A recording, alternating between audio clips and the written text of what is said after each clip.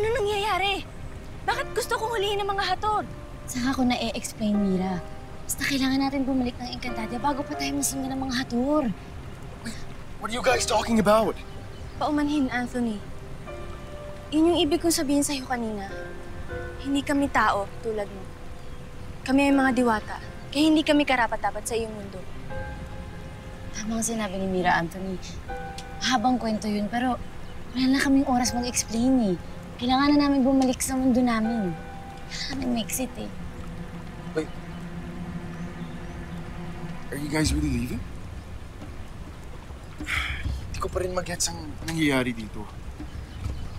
Pero Mira, please, wait.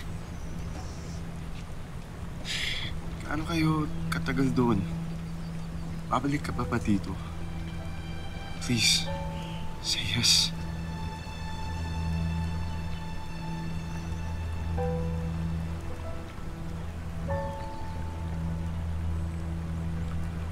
Nakakailangan nyo ng moment. Sige, exit muna ako. Sige, sama mo.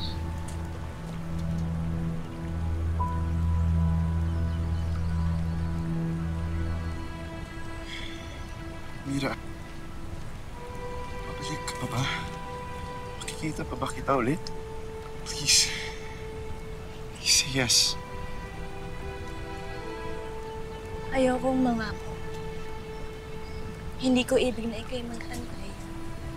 Kaya huwag mo na akong hantayin. Pero Mira, mahal kita.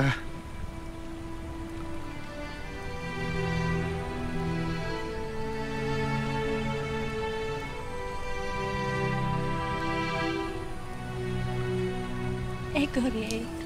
Baby.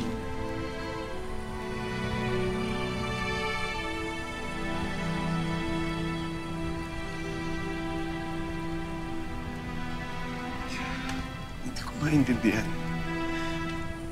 Anong sinabi mo? Sabi ko, kalimutan mo na ako. Paalam. Patawad, Anthony.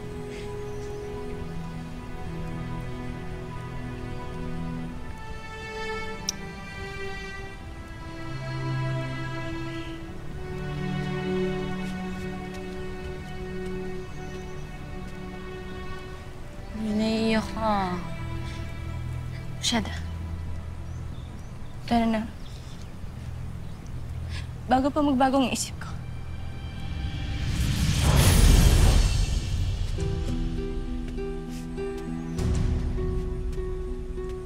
Mira!